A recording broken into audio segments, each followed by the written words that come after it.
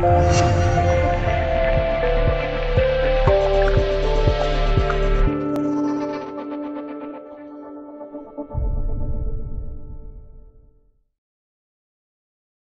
灸疗法是中国医学遗产的一部分，是通过经络、数学的传导及运用一定操作法治疗身体疾病的一种中国独有的治疗疾病的方法。直到如今，仍有许多群众运用针灸来治疗疾病，但是不是所有人都可以进行针灸呢？接下来将带你了解一下针灸的作用及不能针灸的人群有哪些。针灸治疗作用：疏通经络，经络内属于脏腑。外络于肢节，运行气血是主要功能之一。若是经络不通，气血运行受阻，会表现出疼痛、麻木、肿胀、瘀斑等症状。调和阴阳，阴阳平衡状态是针灸的目的。针灸调和阴阳是利用经络阴阳属性、经穴配伍和针刺手法配合完成的。扶正驱邪，针灸扶正驱邪的作用，可扶正机体正气，以及驱除病邪、疾病的发生及转归的过程。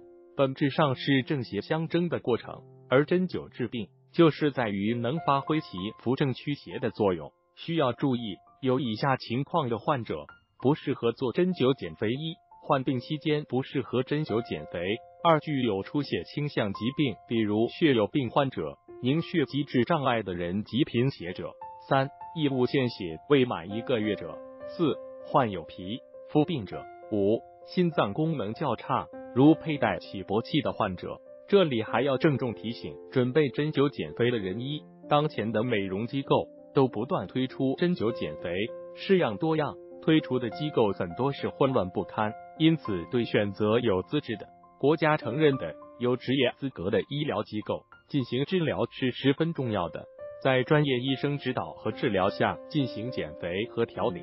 二，通常在进行针灸的减肥疗程里面。首先，不应该过分强调的饮食的限制，不能够采取饥饿的疗法来进行治疗。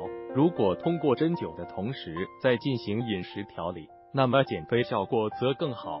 这里给大家一个参考的针灸减肥食谱：早餐一杯白豆浆无糖，加一片全麦面包或一杯脱脂牛奶，加一个鸡蛋清中餐，五十克米饭加少许素菜，清水煮的最好。晚餐六点以前进食。可以选择西红柿、黄瓜、凉拌菜。温馨提示：晚饭时间越提前越好，不能超过晚七点。睡前四到五小时进水。